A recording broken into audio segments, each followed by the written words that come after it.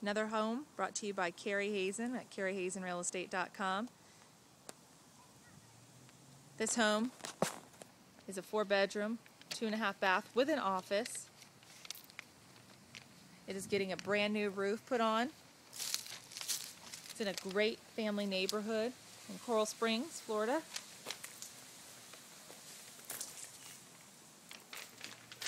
We're walking into the formal living room with high ceilings, very light and airy, and a dining room area right here. I'm going to turn around, we're going to enter into the office, which then goes to the master bedroom. This is our office, double door entry. We have windows. And then we enter into the master bedroom. This room is probably 18 foot by 18 foot, has nice high ceilings, probably eight, nine foot windows going out to the patio area. You have a large um, walk-in, two walk-in closets and large master bath area. Um, unfortunately, the lighting is very poor because um, there's no power in this house. The bathrooms are original, but they're in decent condition. Now we're going to head over to the um, kitchen area and the family room.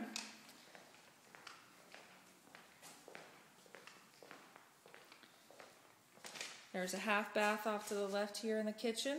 The kitchen's been redone. It has granite countertops, stainless steel appliances. You have a very large pantry, walk-in, almost like a walk-in closet. And we're standing in the eat-in kitchen area with a little niche off the windows here, like niches out. And then you have a large family room area again with high ceilings and skylights. You could probably put a little bar. And then we have three bedrooms down at the end. Again, it's kind of dark. Carpet looks newer. I'd say it's Berber, decent shape. Um, this home is 3,000 square foot um, living area, uh, about 3,500 square feet total. Again, the bathroom needs to be redone, but it's livable. In good shape, it's all neutral. And then we have a large outdoor covered patio area, probably about 300, 350 square feet. The pool um, definitely needs to be redone. Probably cost you about uh, three to five thousand dollars. Um, it does have a screen enclosure. It's intact. It looks in good shape. Um, and the yard, this is a over a 10,000 square foot lot, so it is probably about a quarter acre. Um, if you have any other questions about this property or any others, you can give me a call at 954-649-6974. You can also email me at carriehazen at bellsouth.net.